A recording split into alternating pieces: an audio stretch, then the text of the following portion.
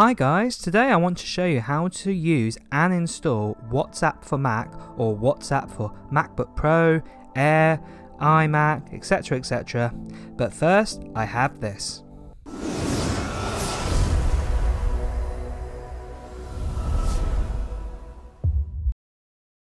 So for all the latest news, reviews and comparisons, don't forget to press subscribe and also don't forget to press that bell.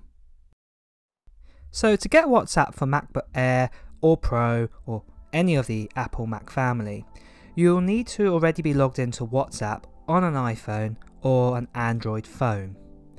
After this you are ready to move on and we can get started in how to install WhatsApp on a MacBook Pro for this demo. But as mentioned it will work on any Mac. So first of all what you want to do is use your favourite browser so here is Safari. I'm just going to open this up. And then what you want to do at the top is type in, let me just click on it, whatsapp.com. And then after that, press enter. And then once you're on the website, what you want to do is move over to the download section and press that. And then scroll down to the bit where it says download for Mac OS X, even though it's called Mac OS. Click allow. This just allows you to download from this website and it will start downloading. So depending on how fast your internet is, um, depends how long this will take to download, but it shouldn't take too long in 2020. Once it's done, click open on the file once it's in your downloads. I've got it here as a shortcut. If not, you might have to use Finder to go to your downloads. So minimize that. And while this is loading up, it's just verifying that the whole package was downloaded. And there we go. And what we want to do is just click, hover over, and let it flash into applications.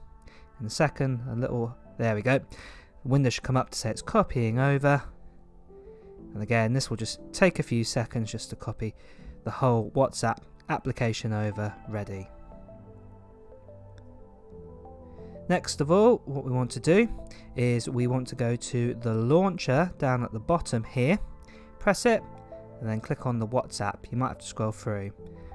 Now on your phone, what you need to do is open up WhatsApp and then go to the settings button and then there should be an option which says WhatsApp for web desktop. Press on that and then you click on the scan QR code button. Scan the QR on your screen and then voila, all your messages will appear on your Mac. So I'm just going to close down uh, WhatsApp. Don't want to show all my messages off to you lovely people. But it is easy as that to install uh, WhatsApp onto a Mac.